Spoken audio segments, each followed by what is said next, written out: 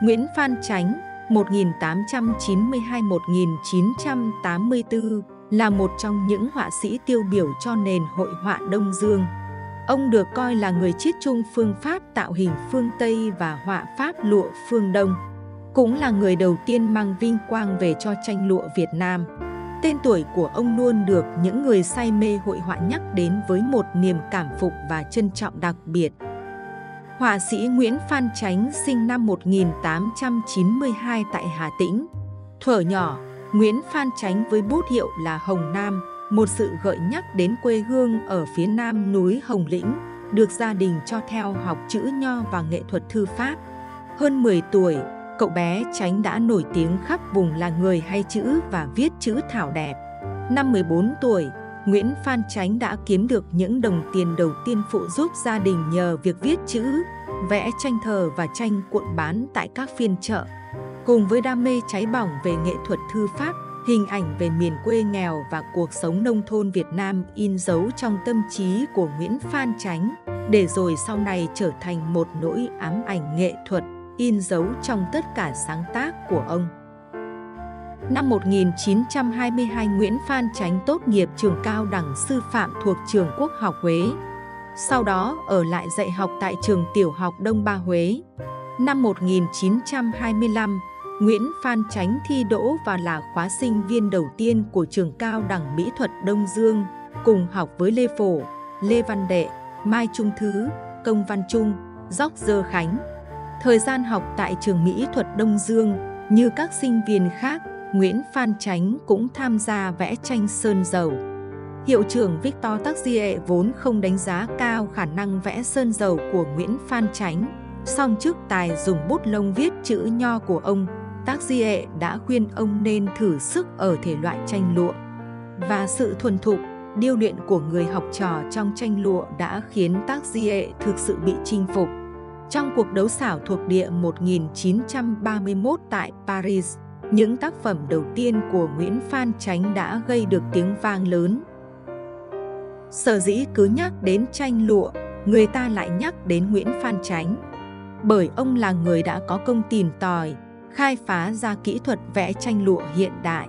Mặc dù tranh lụa đã xuất hiện tại Việt Nam từ thời nhà Lê, nhưng phải đến thời của Nguyễn Phan Chánh, tranh lụa mới thực sự được biết đến rộng rãi.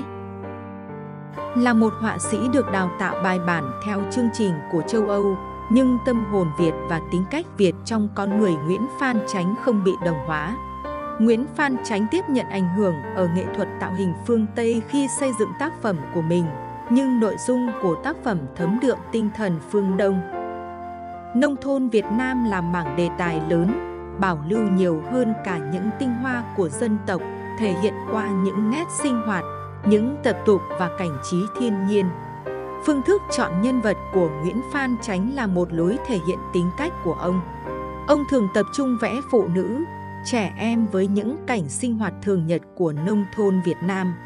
Đó chính là mảng đề tài được thể hiện xuyên suốt các tác phẩm của Nguyễn Phan Chánh những năm 1930 đến 1945. Chơi ô ăn quan, em bé cho chim ăn, đi cày, đi cấy, rửa rau cầu ao, lên đồng, trốn tìm, chim sổ lồng, chị em đùa cá là những tác phẩm nổi tiếng, sống mãi với thời gian. Tranh của ông chứa đựng sự sung mãn và biến ảo trong từng nét vẽ. Ông đặc biệt chú ý đến cách làm dịu tan hình thể trên nền phẳng, tạo ra sức khái quát cao. Tranh của Nguyễn Phan Chánh thường sử dụng các màu nâu, đen, trắng vỏ trứng, xám, đỏ bã trầu. Nghệ thuật sử dụng màu sắc trong tranh ông điêu luyện đến độ tạo cảm giác như có sự chuyển động giữa đối tượng và nền, ngăn bởi những nét buông mảnh và dịu. Trong những năm kháng chiến chống Pháp 1945 đến 1954, Nguyễn Phan Chánh tạm thời xa những tấm lụa thân yêu của mình vì trong vùng kháng chiến nơi họa sĩ ở bấy giờ không có lụa dùng cho tranh. Với tinh thần kháng chiến cứu nước và nghệ thuật vẽ tranh dân gian, Nguyễn Phan Chánh đã vẽ tranh cổ động và áp phích về đề tài chống thực dân. Sau Hiệp định Geneva, Nguyễn Phan Chánh trở về Hà Nội, trở về với những vuông lụa. Những năm tháng sau ngày Hà Nội được tiếp quản, Nguyễn Phan Chánh liên tục sáng tác với số lượng tranh gấp nhiều lần những năm đầu sáng tác. Tranh của ông sau này xuất hiện nhiều nhân vật hơn, màu sắc được nới rộng và sáng hơn. Các màu xanh lục tươi, xanh lam tươi, đỏ tươi xuất hiện. Hình ảnh những người nông dân trong tranh của ông được nhìn từ góc độ mới với một thế giới quan mới.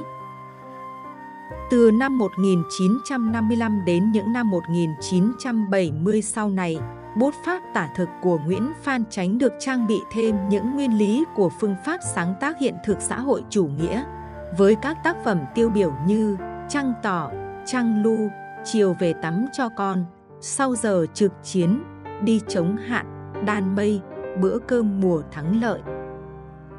Ngòi bút Nguyễn Phan Chánh gần như gợi đến mọi ngóc ngách của thiên nhiên quanh ta, một bụi tre trước gió, dòng sông in bóng mây trời, con trâu ra đồng, chiếc cầu tre, con bò gặm cỏ, nhưng khác với tranh lụa truyền thống mà ở đó thiên nhiên là chủ đạo và con người chỉ là điểm suyết cho cái thiên nhiên ấy, ngay cả khi nó được sự miêu tả hướng đến. Ở đây nổi bật lên tất cả bao giờ cũng là hình ảnh con người, đặc biệt là người nông dân. Con người lao động bao giờ cũng là đối tượng chính của tranh Nguyễn Phan Chánh. Đề tài nông dân đó của Nguyễn Phan Chánh được khẳng định ngay từ những ngày đầu sáng tác. Nguyễn Phan Chánh yêu cái bình thường trong cuộc sống. Họa sĩ yêu tả những cái êm dịu, thong thả có tính cách quê mùa.